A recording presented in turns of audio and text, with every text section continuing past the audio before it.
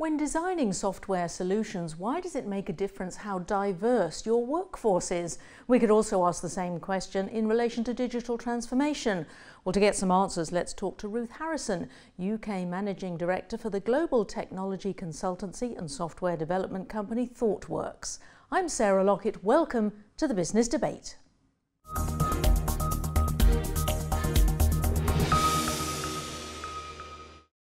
Ruth, welcome to the London Stock Exchange studios. Good to be here.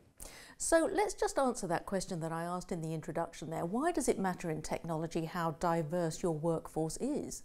technology companies need to be diverse and need to be representative of the communities they serve. And if they don't have a balanced workforce, then they're not designing products and services to meet the needs of that community. But isn't tech the great leveller? So it doesn't know if you're black or white or male or female? Well, arguably. But tests actually demonstrate that um, in blind testing that uh, you can actually tell if technology has been designed in a certain way because there is unconscious bias.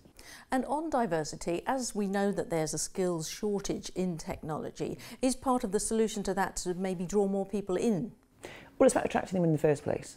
A reason to why would you want to go into technology? So technology has to change the face of its external presence, as it would be, um, for people to want to, to, feel comfortable in technology. It's had a very um, male-dominated uh, appearance for several decades now. And what are the challenges and why should companies not just do it as a tick box exercise? Well, it's about staff retention as well. The reason people want to remain in your business, who, who want to feel engaged and actually work for that particular organisation and feel proud to do so. So if you're just ticking a box, then quite likely six months down the line that you'll actually find that people have left and uh, that can be quite brand damaging. Are there the people out there though? Have we got to go right back to schools to get people into those subjects? Well, there are people currently who clearly want to work in technology, and you don't always have to be a technologist. Uh, there's, there's other aspects of strategic advisory, etc. Um, but schools play an awful lot, a huge part in encouraging a change of mindset um, to encourage young girls to actually even consider going into technology, for example.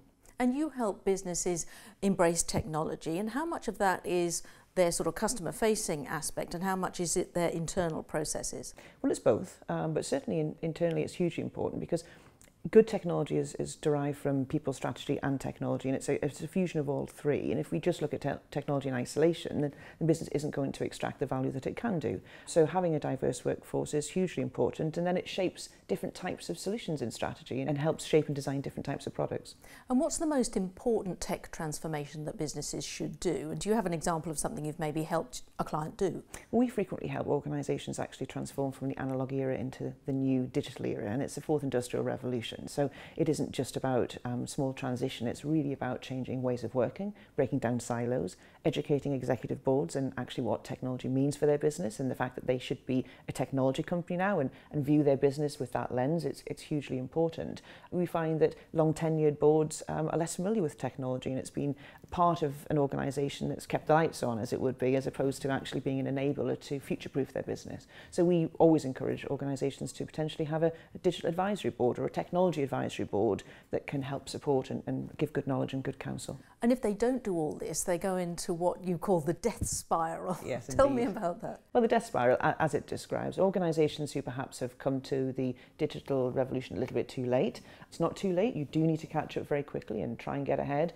But for those who haven't and are already starting cost-cutting exercises or really don't believe that they need to transform because perhaps they're too big to fail or their organisation is robust, we're actually finding that uh, consumer behaviour and the way that consumers are using digital means they're losing market share. So the death spiral is, is quite dangerous. It's a very dangerous territory to be in. Is it irreversible? Can you get out of that once you've started to spiral downwards?